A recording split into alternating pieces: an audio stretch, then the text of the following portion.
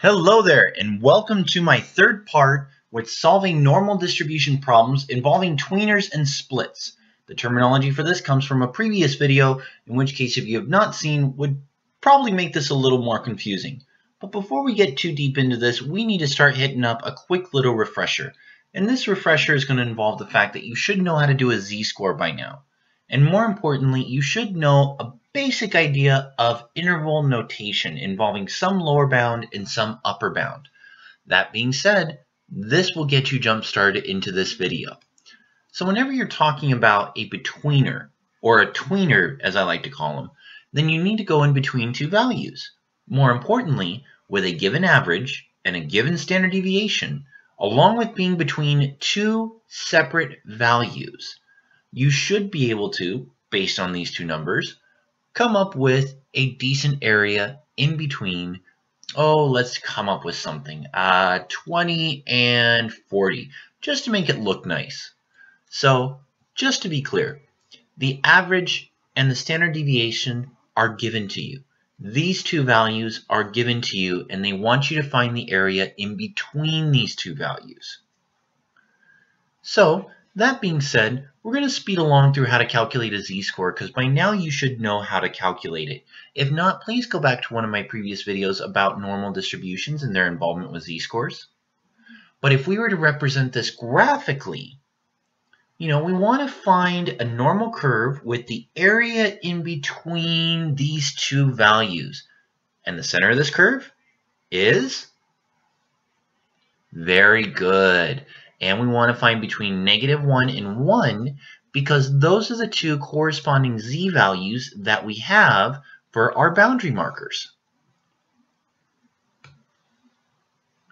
Now, if I was to represent each z-score as a lefty based on the previous video that we had done, so we want to go to the left of positive 1, Hmm, let's see here. Interval notation, negative infinity, going up to 1 using our normal CDF function. That should get you about 0.8413, just about. And the second one, we're going to do negative infinity going up to not 1, but negative 1 this time, because we've got two values to deal with and it gives you that corresponding value.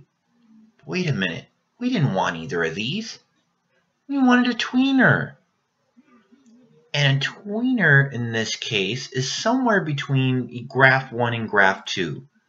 So let's see, we draw our normal curve, and let's see, ah, it's not one of my better ones, but we want to get in between the positive 1 and the negative 1.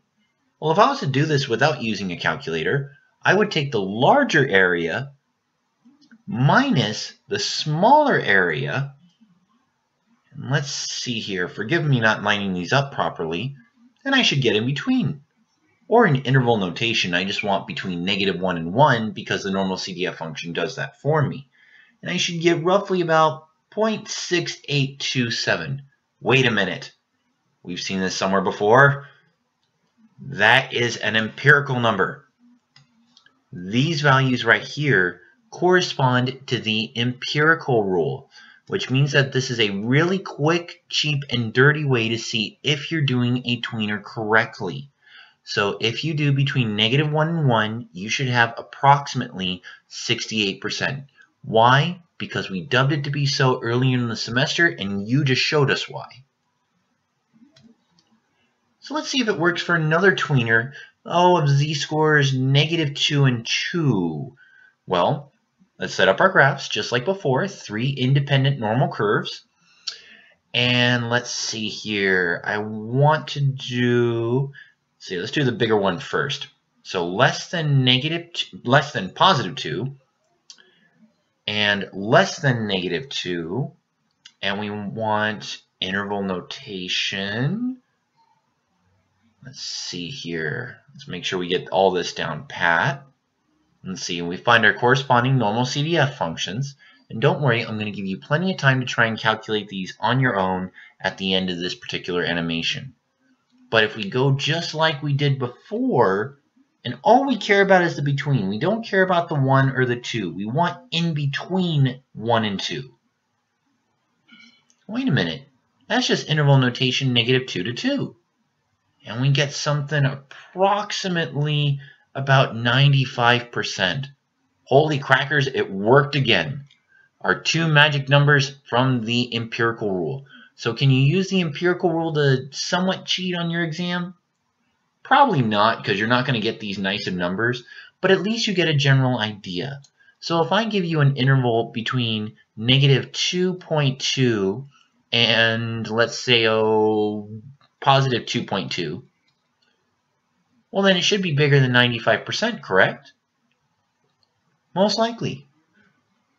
But if you don't get bigger than 95%, you've probably done something wrong within your normal CDF function. So just as a quick reminder, all this interval notation is getting pumped into your normal CDF function with an average of 0 and a standard deviation of 1 because those are the standardized values for your z-scores. Everybody good so far? I hope so, because now we're going to start going into the splits. Now the splits, on the other hand, don't necessarily follow the same ideology, because when you're doing a splits, you're looking for the area in the tails. So if you do a z-score, you know, you've got your average in the center. That's fine. You got your two boundary values, just like a tweener. But you got this area in the tails that you want to deal with. And it's not just one tail this time. It's not a lefty. It's not a righty. It is both tails occurring at the same time. And this produces a lot of problems for people. So instead of doing this the long way, we're going to try simplifying it using a normal CDF function because normal CDFs won't help us find values less than a particular number or greater than a particular number. So let's see, how are we going to compensate for this using a normal CDF function? So let's get some boundary markers first. Let's go negative 10 and let's see. Oh, you think of a nice round number. 30. So let's see here. If I give you an average of 10 and I give you a standard deviation of 10, again, these are all just numbers given to you. But the thing about this item is we are going to look in the tails less than negative 10 or greater than 30. So in a normal CDF function, make sure you mark your center, which is the average in this case, and your two corresponding boundary markers of negative 10 and positive 30. So again, we're trying to use the normal CDF function to help us out here, normally because we have two different areas to deal with. We have the area to the left, which we've marked as number 1, and we have the area to the right, which we've marked as number 2. Now, if this was a lefty problem with just area number 1, then we would go negative infinity going up to negative 10, and we would have a good day. But wait a minute. This is no longer z-score stuff. We're going negative infinity to negative 10 with a mean of 10 this time because this is not a z-score. This is a whole value. So once again, that is an x value, not a z value. And a standard deviation of 10. Whoops, don't need to write sigma. Calculators can't do sigma. You got to give them the actual numbers. So let's see here. Let's just make this a solid 10. There we go. And then if we were to do the righty, which I know I haven't done a video for this yet, but I'm working on it. So we're going from 30 to positive infinity with a center of 10 and a standard deviation of 10. But the calculator doesn't want to do these at the same time, and I know you surely don't. So let's take a look here.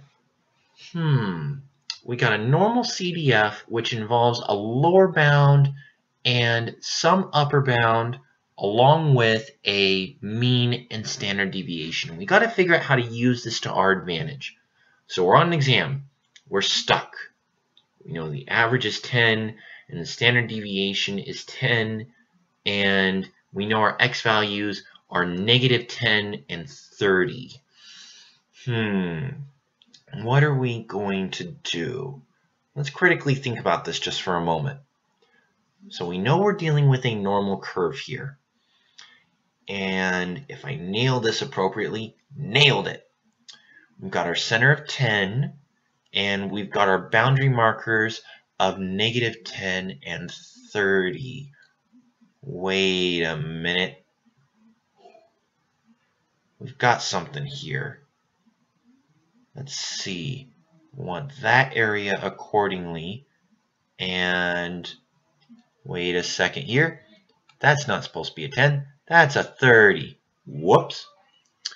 So if we were to follow our regular notation, we would go negative infinity, negative 10, 10, and 10 to follow our normal CDF formula. Plus, we would want to do the interval from 30 to positive infinity going up to 10 and 10 because that's following the normal CDF formula. Now, this is one way of working it out, but keep in mind though that when you're dealing with these lower bounds and those corresponding upper bounds, this can get really confusing really quickly. So let's see if there's another way of doing this, something that's a little nicer. So draw our curve out accordingly. And let's see here, we want to tackle this. So we got our boundary markers. And let's see here. Got our center again. Wait a minute. This looks like a tweener. We don't want a tweener. We want the area in the tails. But the area under the curve adds up to 1. So that means 1 minus the tweener. Let's see here. Lower bound of negative 10, upper bound of 30, mean of 10, standard deviation of 10. Wait a minute. This could work. 1 minus the area in between should equal the area in the tails. Brilliant! Because if the area under the curve is 1, then if we take out that area within the curve, all that we're remaining is the tails. Aha! This is one of the best ways to solve a tweener, is to look at that middle area and completely cut it out of your entire distribution, and all you're left with is that nice solid area here and here. Now that being said, we have our two ways to solve a tweener. We have the plus method, where you find the area in area 1 plus the area in 2 using two different normal CDFs, or you can do 1 minus the tweener,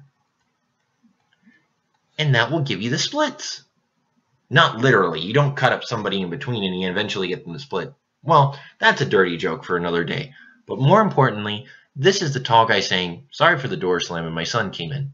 But more importantly, if you're dealing with the splits, do 1 minus a tweener. If you're doing a tweener, worry about the lower bound and the upper bound. Now you know how to work with a normal CDF effectively. And for the record, don't forget, show all your work. Even if it's a multiple choice question, show your graphs. They save you more times than I can count. Signing off.